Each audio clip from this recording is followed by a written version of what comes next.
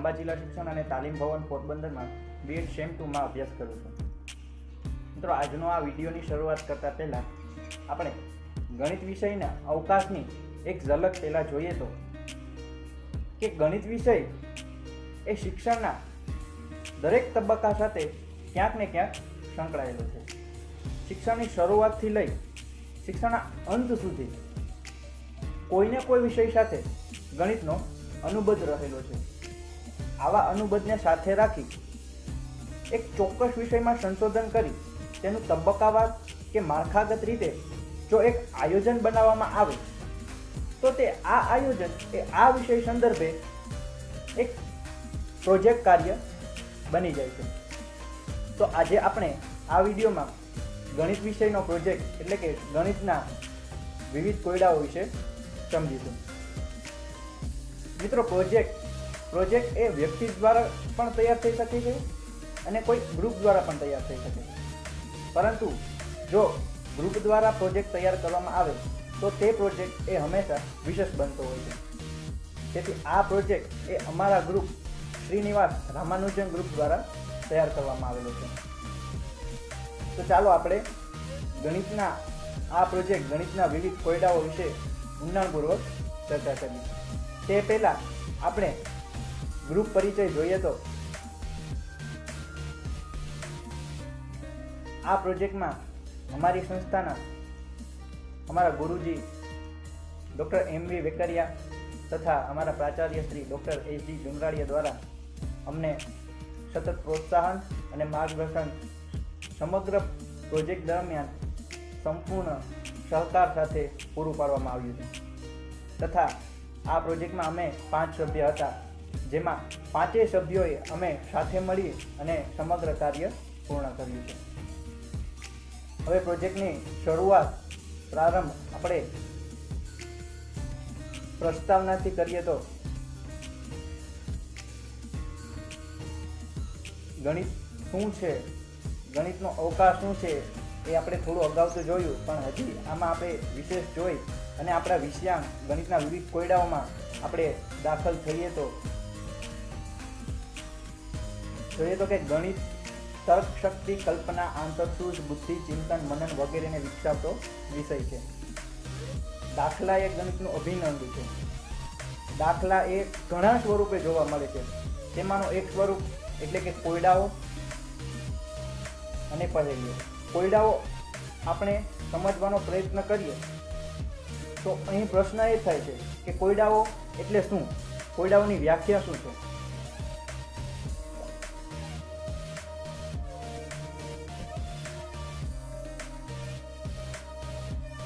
આપણે વ્યાખ્યા જોઈએ તો કોયડાની કોઈ એવી વસ્તુ, ઘટના, મૂંઝવણ, પ્રશ્નો વગેરેને સમજવું કઠિન કે અઘરું પડે તેને કોયડા કહેવામાં આવે બરાબર ને? કે કોઈ એવી વસ્તુ હોય, ઘટના હોય, એને ટૂંકમાં એને આપણે મગજ ઘસવો પડે. એને સમજવું મૂંઝવણ, મૂંઝવણભર્યું કાર્ય છે. એને ઉકેલવું મૂંઝવણભર્યું કાર્ય છે. એને આપણે કોયડા કહી શકીએ. કોઈ રમત અથવા રમકડું જેને સમજવા માટે મગજ ઘસવું પડે છે અથવા મગજ શક્તિનો વિસ્તૃત પ્રમાણમાં ઉપયોગ કરવો પડે, તો તેને કોયડા કહેવામાં આવે છે. બરાબર કોયડા એ રમત સ્વરૂપે હોય છે. કોયડા એ ભૌતિક સ્વરૂપે પણ હોય છે. ભૌતિક સ્વરૂપ એટલે કે રમકડું. તેને આપણે રમકડાને ઉકેલવા માટે આપણે એનું ઉદાહરણ જોઈએ તો પઝલ. પઝલની ગોઠવણી કરવી અથવા કોઈ ક્યુબ જેમાં બધા રંગ આપણે જોઈએ તો એક ક્યુબ આવે એમાં બધા રંગ ભેગા કરી અને તેની ચારે, ચારેય બાજુમાં એક સરખા રંગ કરવાના હોય છે. આવા ઘણા રમકડા હોય છે. એને પણ કોયડા સાથે આપણે એનું સંકળાવી શકીએ. કોયડાનું ઉદાહરણ આપણે એને ગણી શકીએ. પછી ત્રીજું છે કે જે વસ્તુ વ્યક્તિને મૂંઝવણમાં નાખે છે તેને કોયડા કહેવામાં આવે છે. બરાબર છે કે આપણે આગળ જોયું કે જે વસ્તુ અથવા ઘટનામાં આપણે મૂંઝવણ અનુભવીએ. આપણે રમકડાનું ઉદાહરણ જોયું, એમાં પણ આપણે રમકડા સાથે રમ, એક રમકડું છે, પણ એમાં આપણે એને ઉકેલવું પડે. પઝલને આપણે ગોઠવવી પડે. પઝલ ગોઠવીને એમાં આપણે સમગ્ર આકૃતિ કે જે કંઈ હોય ચિત્ર, તે આપણે આખું ઉકેલવું પડે. ક્યુબ હોય તો ક્યુબમાં ચારે બાજુ તેને સરખી રંગવાળી કરવા માટે તેને આખું ઉકેલવું પડે, ગૂંથવું પડે. તો એ કાંઈક મૂંઝવણ છે. તો જે વસ્તુ વ્યક્તિને મૂંઝવણમાં નાખી છે, તેને આપણે કોયડા કહેવામાં આવે છે. આમ આપણે જોઈએ તો કોયડા એ રસપ્રદ બાબત છે પણ કોયડાને ઉકેલવું અથવા તેનો જવાબ મેળવવો તે એક સિદ્ધિ મેળવવા જેવી બાબત છે. બરાબર છે. કે કોયડા મૂંઝવણ તો આપે જ છે. અને તેમાં આપણે ઘણા પ્રશ્ન પણ થાય છે અને ઉકેલવું પણ અઘરું છે. પણ એમાં રસ રસ જાગે છે. રસ જાગવાને લીધે જો આપણે સ્ટેપ બાય સ્ટેપ એટલે વિગત પગલે પગલે પગલે તબક્કાવાર એને ઉકેલતા જઈએ, કોયડા, કોયડાને. તો ધીમે ધીમે આપણે એના જવાબ સુધી પહોંચી જઈએ, ઉત્તર સુધી પહોંચી જઈએ. તો જ્યારે આપણે ઉત્તર જવાબ આપણે હાસિલ કરીએ, ત્યારે એક જાતની આપણે ખુદને કે એક સિદ્ધિ મેળવી તેવી અનુભૂતિ થાય છે. તો જવાબ મેળવવો તે એક સિદ્ધિ મેળવવા જેવી બાબત છે, જે અહીંયા કીધું છે. પછી કોયડા એ ઘણા પ્રકારના હોય છે. જેવા કે આકૃતિ સ્વરૂપે, રમત સ્વરૂપે, વસ્તુ સ્વરૂપે, સામાજિક સંબંધ સ્વરૂપે અને દાખલા સ્વરૂપે. આ બધાનું આપણે આજે વિગતવાર તેના વિશે જોઈશું. આ સિવાય પ્રશ્નો સ્વરૂપે, આંકડા સ્વરૂપે, નકશા સ્વરૂપે, છબી સ્વરૂપે વગેરે જેવા પ્રકારે કોયડા હોય છે. આ કોયડાને ઉખાણા, પહેલી પઝલ વગેરે જેવા વિવિધ નામથી પણ ઓળખવામાં આવે છે. કોયડાનું અન્ય જુદા જુદા વિસ્તારમાં જુદા જુદા નામે ઓળખાય છે અથવા જુદા જુદા સ્તરે જુદી જુદી ઉંમરે લોકો તેને અલગ અલગ દ્વારા, અલગ અલગ નામ દ્વારા ઓળખે છે. કોયડાને ઘણા લોકો ઉખાણા પણ કહી શકે છે, પઝલ પણ કહી શકે છે. આવા એના જુદા જુદા નામ છે. પેલો પ્રકાર છે પ્રશ્ન સ્વરૂપે કોયડાઓ. આપણે કોયડાનો આ એક પ્રકાર છે કે જેમાં જુદા જુદા પ્રશ્નો હોય છે. આ પ્રશ્નને આપણે ઉકેલવાના હોય છે અને એનો જવાબ મેળવવાનો હોય છે. આપણે અહીંયા જો ઉદાહરણ જોઈએ તો કે ધારો કે તમે દસ મુસાફર સાથે બસમાં મુસાફરી કરી રહ્યા છો. પહેલા સ્ટેન્ડ પર બે ઉતર્યા અને ચાર સવાર ચડ્યા. બીજા સ્ટેન્ડ પર પાંચ ઉતર્યા અને બે સવાર ચડ્યા. આગલા સ્ટેન્ડ પર બે ઉતર્યા અને ત્રણ સવાર ચડ્યા. હવે કહો કે બસમાં કેટલા મુસાફર મુસાફરી કરી રહ્યા છે? તો આ એક જાતનું મૂંઝવણભર્યો પ્રશ્ન કહેવાય છે. આ મૂંઝવણભર્યા પ્રશ્નને આપણે કોયડો કહીએ છીએ. આ કોયડાને ઉકેલવો અને જવાબ મેળવવો એ થોડું કઠિન કાર્ય છે. પરંતુ તેનો જવાબ મેળવવો એ એક રસપ્રદ બાબત થઈ જાય છે. એની નીચે જ છે બીજો કે દિમાગ લગાવો અને જવાબ આપો કે બે પ્લસ સાત, બે પ્લસ સાત માઇનસ ત્રણ ઇક્વલ ટુ ટ્વેન્ટી ફોર. નવ nine plus seven, minus four equal to twenty four. Four plus zero plus eight equal to twenty four. Five plus five plus five equal to question mark એટલે કે બે plus સાત minus ત્રણ બરાબર ચોવીસ થાય છે. નવ પ્લસ સાત માઇનસ ચાર બરાબર પણ ચોવીસ થાય છે. ચાર પ્લસ ઝીરો પ્લસ આઠ બરાબર પણ ચોવીસ થાય છે. તો પાંચ પ્લસ પાંચ પ્લસ પાંચ બરાબર કેટલા? હવે આપણે ઉકેલવાનો પ્રયત્ન કરીએ. તો પહેલાં આપેલું છે કે બે પ્લસ સાત પ્લસ ત્રણ ઇક્વલ ચોવીસ એટલે કે પહેલાં સરવાળો કરીએ. બે પ્લસ સાત એટલે નવ. નવ પ્લસ ત્રણ એટલે equal બાર. બરાબર? ચોવીસ નામના રહેવા દઈએ. પછી છે બીજું. નવ પ્લસ સાત માઇનસ ચાર. બરાબર ચોવીસ. નવ પ્લસ સાત એટલે સોળ. સોળ માઇનસ ચાર એટલે બાર. એટલે પહેલામાંય બાર આવ્યા હતા. બીજામાંય બાર આવ્યા હતા. ચોવીસના હમણાં આપણે રહેવા દઈએ. ત્રીજું છે ચાર પ્લસ ઝીરો, પ્લસ આઠ, એટલે ચાર પ્લસ આઠ એટલે બાર. પહેલામાં બાર આવ્યા હતા બીજામાંય બાર આવ્યા અને ત્રીજામાંય બાર આવ્યા. અને હવે આપણે થોડું, થોડુંક આપણે થોડીક સૂઝ મળશે, થોડોક રસ્તો મળશે કે ત્રણેયમાં બાર આવ્યા અને એની બરાબર ઓલી સાઈડ ચોવીસ છે. તો આ ઉપરથી આપણે જોઈ શકીએ કે બાર બરાબર ચોવીસ, બાર બરાબર ચોવીસ, બાર બરાબર ચોવીસ ક્યારે આવે? જ્યારે બારને બે વડે ગુણાકાર કરવામાં આવે ત્યારે ચોવીસ થાય છે. તો ચોથો પ્રશ્ન જે છે, પાંચ પ્લસ પાંચ પ્લસ પાંચ બરાબર કેટલા? એ આપણે ઓટોમેટિક આપણે ખ્યાલ આવી જાય છે કે પાંચ પ્લસ પાંચ પ્લસ પાંચ જેટલો સરવાળો મળશે, એને બે વડે ગુણશું, એ બરાબર ખાલી જગ્યામાં જવાબ આવશે. એટલે કે પાંચ પ્લસ પાંચ પ્લસ પાંચ બરાબર પંદર. પંદરને બે વડે ગુણતા ત્રીસ જવાબ મળે છે. એ અહીંયા ખાલી જગ્યામાં એનો જવાબ આવે છે. આ બધા પ્રશ્ન સ્વરૂપે કોયડા હતા. કોયડાનો એક પ્રકાર હતો. આગળ આપણે જોઈએ. તો હવે એક રમત જેવું છે. રમત જેવું એટલે કે આપણે કોઈ પણ વ્યક્તિ સાથે આ રમત રમી શકીએ. તેમાં આપણે રમત, આપણે આગળ જોઈએ કે કોયડા હંમેશા રસપ્રદ હોય છે. એટલે કે આ રમતમાં પણ આપણે આગળ રમત જોશું તો એમાં આપણે એક રસપ્રદ બાબત લાગશે કે કોઈ વ્યક્તિની જન્મ તારીખ કેવી રીતે શોધવી? એના એના ખાલી બે, ત્રણ પ્રશ્ન પૂછી એમાંથી આપણે એ વ્યક્તિની જન્મ તારીખ શોધી શકીએ છીએ. તો આ જન્મ તારીખ કેવી રીતે શોધવી એ આ કોયડાનું નામ છે. તો એ આપણે જોઈએ કે કોઈ પણ વ્યક્તિની જન્મ તારીખ અને મહિનો કહી આપો, કેવી મજા આવે જાણવામાં. બરાબર છે? કે આપણે એ વ્યક્તિને થોડા બે, ત્રણ પ્રશ્ન પૂછી અને એને સીધી તારીખ પૂછ્યા વિના આપણે એની સાચી જન્મ તારીખ કહીએ. તો એ વ્યક્તિને પણ મજા આવશે, આપણે પણ મજા આવશે. તો આ એક રમત જેવું થઈ ગયું અને જાદુ કહે તો જાદુ જેવું થઈ ગયું. એટલે જ આ કોયડા એ રસપ્રદ બાબત છે. અને એક કોયડાનો એક પ્રકાર છે, જે આપણે અહીંયા જોઈએ કે કેવી રીતે જન્મ તારીખ વ્યક્તિને શોધવી. કે પેલું એનું સ્ટેપ છે કે જન્મના મહિના બે વડે ગુણો. વ્યક્તિને કોઈ આપણે વ્યક્તિને પૂછીએ કે પહેલાં તો એનું કહેવાનું કે તારો જન્મ તારીખનો મહિનો કયો છે? એને બે વડે ગુણવાનો. હવે મળેલી સંખ્યામાં પાંચ ઉમેરો. એ બીજું સ્ટેપ જે સંખ્યા મળી એમાં પાંચ ઉમેરવાનું. પછી ત્રીજું સ્ટેપ છે કે હવે મળેલી સંખ્યાને પાંચ વડે ગુણો. જે સંખ્યા મળી, પહેલા તો એ વ્યક્તિનો એનો મહિનો પૂછ્યો એને આપણે બે વડે ગુણ્યું. હવે બીજું સ્ટેપ એમાં આપણે પાંચ ઉમેર્યું. ત્રીજું સ્ટેપ કે હવે જે સંખ્યા મળી એને પાંચ વડે ગુણ્યું. હવે જે મળેલી સંખ્યા પાછળ છેલ્લે શૂન્ય મૂકો. એટલે જે સંખ્યા મળે, એની પાછળ શૂન્ય મૂકવાનું.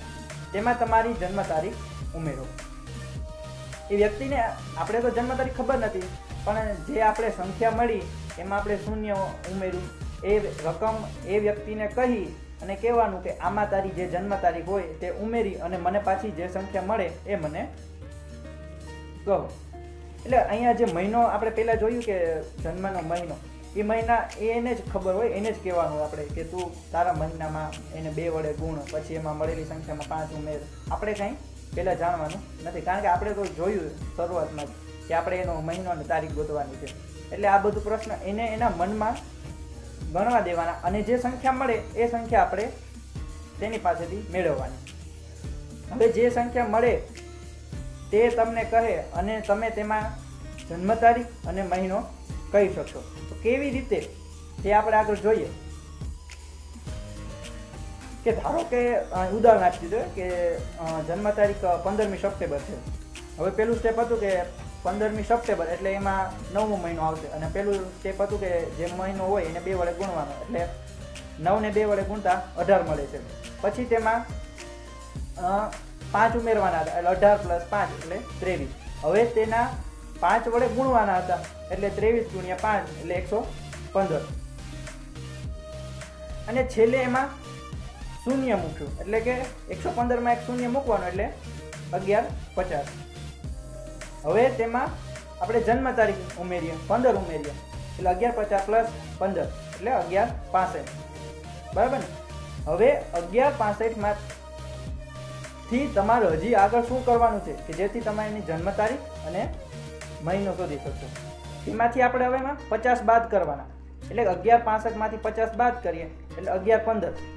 છેલ્લે બે આંકડા જન્મ તારીખ હશે.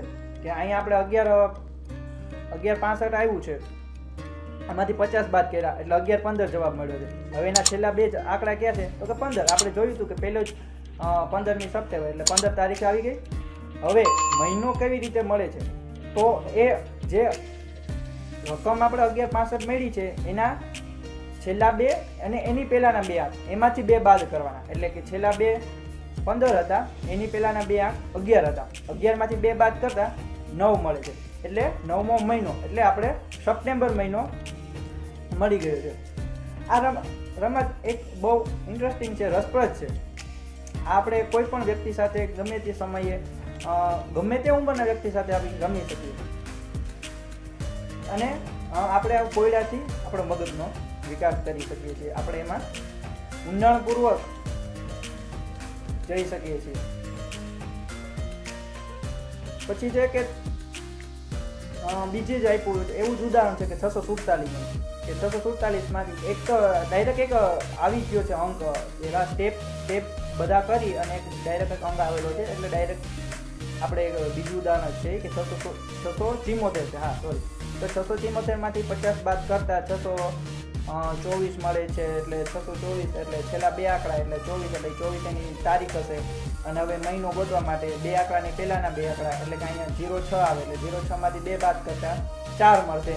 એટલે કે એ વ્યક્તિની જન્મ તારીખ ચોવીસ હશે અને એ વ્યક્તિનો મહિનો ચાર, ચોથો મહિનો હશે. મિત્રો આવી રીતે તો ઘણા કોયડા ઉકે હોઈ શકે છે. પરંતુ બધા અહીંયા આપણે ઉકેલવા બેસીએ તો જાજો સમય વયો જાય છે. પણ આપણે તો મેઇન હેતુ કે પ્રોજેક્ટમાં કોયડાના કોયડા શું છે અને કોયડાના કેટલા પ્રકાર છે. અને આ બધા પ્રકાર એ કેવા કેવા હોય છે તેની એક માત્ર ઝલક જ જોવાની છે આ વીડિયો દ્વારા આપણે. હવે આપણે બીજું આગળ જોઈએ તો કોયડાનો કોઈ અન્ય એક પ્રકાર છે કે રીત સહિત કોયડા ઉઠે. જોઈએ આપણે કે આ એક પેલો કોયડો છે કે જો બિલાડી ત્રણ મિનિટમાં ત્રણ સસલાને પકડી શકે છે, તો સો સસલાને પકડવા સો બિલાડીને કેટલો સમય છે? હવે એની માટેની રીત છે કે રીત કહે તો રીત અને જવાબ. કારણ કે રીતમાં જ આપણે જવાબ ખબર પડી જાય છે કે સો સસલાને પકડવા સો બિલાડીઓ ત્રણ મિનિટનો સમય લાગશે. એનું કારણ શું કે એની રીત શું કે એક બિલાડી ત્રણ મિનિટમાં એક સસલાને પકડી શકે તો સ્વાભાવિક છે કે સો બિલાડીને ત્રણ મિનિટમાં સસલાને પકડવા ત્રણ મિનિટનો સમય લાગે આ એક જાતનું કોયડાનું એક પ્રકાર છે રીત સહિત કોયડાઓ એનું બીજું જ ઉદાહરણ જોઈએ એક બરાબર જીરો બે બરાબર છ, ત્રણ બરાબર ચોવીસ, ચાર બરાબર સાઠ અને પાંચ બરાબર કેટલા? તો એની રીત છે કે આ જે કોયડાનો જવાબ મળે છે એ એક બરાબર જીરો છે. તો એ જે ઘન જે એક બરાબર જીરો એટલે જે એકનો ઘન મળે છે એમાંથી એક બાદ કરતા જીરો મળે છે. બે બરાબર છ એટલે કે બેનો ઘન કરતા એમાંથી બે બાદ કરતા જવાબ છ મળે છે. ત્રણનો ઘન કરતા એમાંથી ત્રણ બાદ કરતા જવાબ ચોવીસ મળે છે. તો એવી જ રીતે પાંચનો ઘન કરતા એકસો પચીસ મળે છે અને એમાંથી આપણે પાંચ બાદ કરીએ તો એકસો વીસ મળે છે. એ એનો જવાબ છે.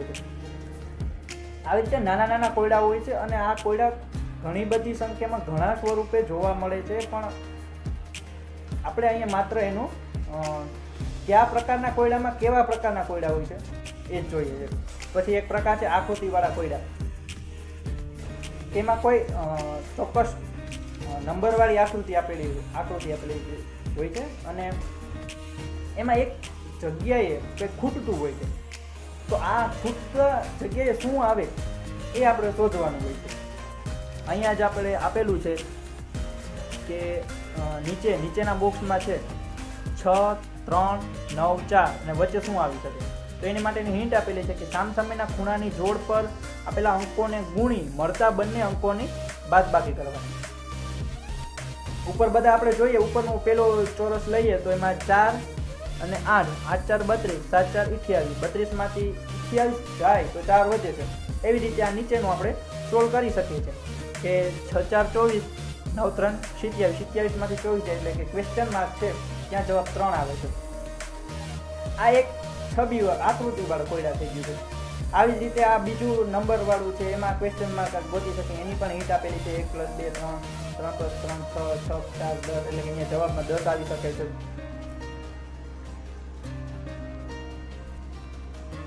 હજી આપણે આગળ જોઈએ તો પેલું ઉદાહરણ જોયું તો એવું જ છે કે આમાં પણ એ જ છે કે સામ સામસામેનો ગુણાકાર કરવાનો અને પછી એમાંથી જે ગુણાકાર મળે છે એને બાદબાકી કરવાની. આ જુદા જુદા ઉદાહરણ હતા. જે ઉદાહરણ હતા, આકૃતિવાળા કોયડાઓના. હવે પહેલી પહેલી સ્વરૂપે આપણે જોઈએ, તો પહેલીનું નામ છે પાસવર્ડ. કે પોલીસ ચોર ટોળકીને ટોળાની આપણે પહેલી જોઈએ, પહેલી આપણે ઉકેલવાનો પ્રયત્ન કરીએ. કે પોલીસ ચોર ટોળકીને ટોળાની નજીકથી નજર રાખી રહી છે, જે દાખલ કરવા માટે અમુક પ્રકારના પાસવર્ડ આપેલા છે.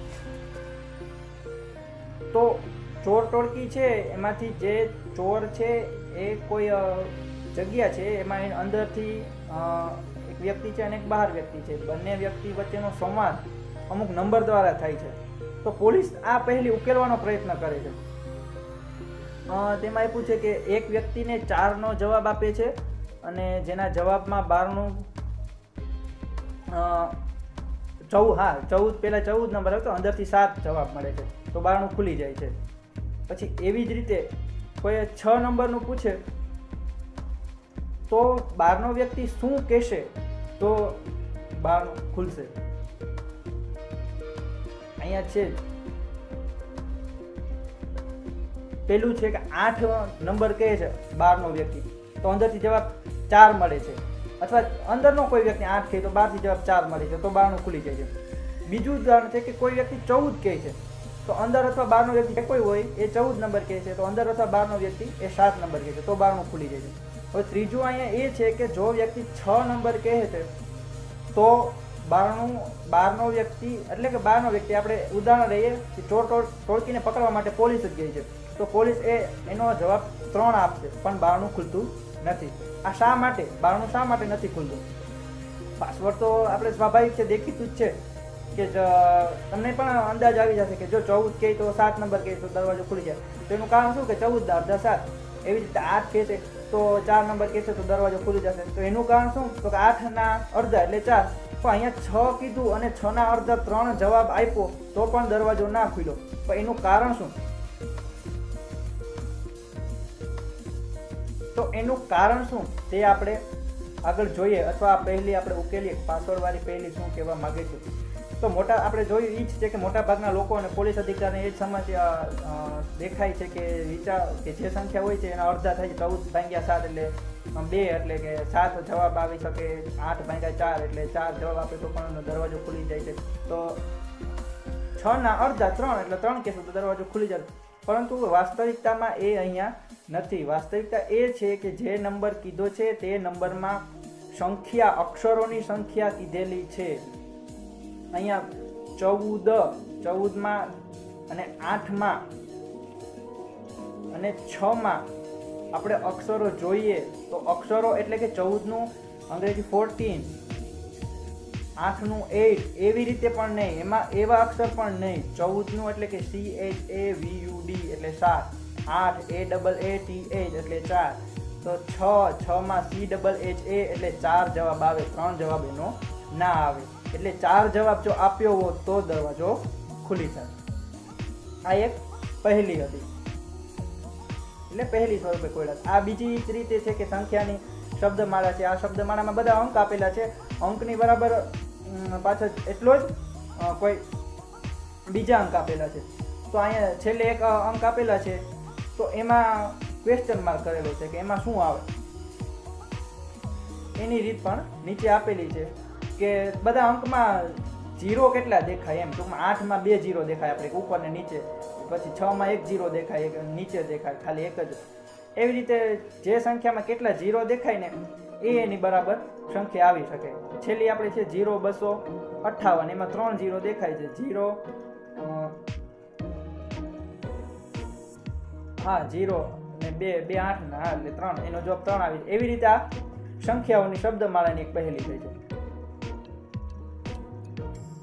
આગળ આપણે જોઈએ તો કે આકૃતિવાળા કોયડા છ, આકૃતિવાળા તો કોયડા હજી એમાં આપણે આગળ જોઈએ, આકૃતિવાળા એક આકૃતિવાળા તો આપણે આગળ જોઈ લીધું હતું કે એમાં નમ- માત્ર નંબર અને કોઈ ચોક્કસ આકૃતિ હતી. પરંતુ અહીં કોઈ ચિત્ર છે. ચિત્રવાળા પણ કોયડા હોઈ શકે છે. અહીં આકૃતિની જગ્યાએ આપણે છબીવાળા કોયડા પણ કહી શકીએ. અહીંયા ઇફ પછી ટ્રાયંગલ આપેલા છે અને બરાબર ઇક્વલ ટુ પાંચ ફાઇવ આપેલા છે. તો નીચે એવી બીજી આકૃતિ આપેલા છે અને ક્વેશ્ચન માર્ક આમાં શું આપી શકે?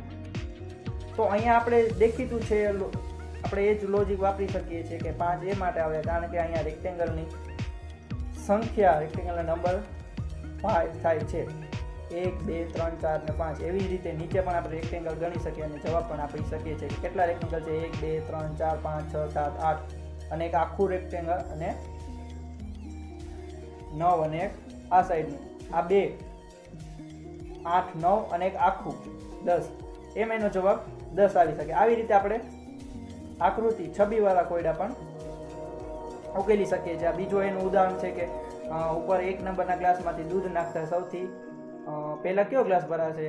કે ઝડપથી દૂધ કેમાં જશે? તો કે પહેલામાંથી પહેલાં ત્રીજામાં જશે, પછી ત્રીજામાં સૌથી નીચે નળી છે, એટલે નળી સીધું ભરાશે સાત નંબરનું, એટલે સૌથી પહેલાં સાત નંબરનો ગ્લાસ ભરાઈ શકે. પછી આગળ જોઈએ હજી આપણે. હા, પ્રકાર બધા પૂર્ણ થઈ ગયા છે કોયડાના, અને આગળ હવે આપણે એને ઉપસંહાર કે કોયડા ગણિતના સંદર્ભમાં શું, ગણિત સાથેનો સંબંધ શું છે? એમ જોઈએ તો કે આમ ગણિતના, ગણિતમાં કોયડા એ માનવ મગજના વિકાસ માટેનું સાધન છે. કોયડા દ્વારા વ્યક્તિના રોજિંદા જીવનમાં ઊભી થતી સમસ્યાનો હલ સરળતાથી શોધી શકાય છે. એ તો દેખીતી વાત છે અને એ તો સ્વાભાવિક છે. હું તો હજી આગળ એમ પણ કહી શકું છું કે કોયડા એ આધુનિક સમયમાં પણ નહીં, પરંતુ પ્રાચીન સમયથી પણ વિખ્યાત છે. કારણ કે પૌરાણિક સમયમાં રાજા મહારાજા પણ કોયડાઓની રમતો રમતા હતા. એના માટેની હરીફાઈઓ પણ યોજતા હતા અને એના માટેનું ચોક્કસ આયોજન કરતા હતા અને એ પણ ત્યારથી પ્રખ્યાત છે કોયડા પહેલી. કોયડા પહેલી એક આપણી સંસ્કૃતિનો ભાગ કહે તો સંસ્કૃતિનો ભાગ પણ કહી શકાય છે. છેલ્લે બસ એક વાક્ય છે કે કોયડા છે એ માનવ મગજનો વિકાસ, માનવ મગજને ઘસનારું તત્વ છે. થેન્ક યુ આપ સૌએ વીડિયો ખૂબ શાંતિથી સાંભળ્યું તે બદલ ખૂબ ખૂબ આભાર.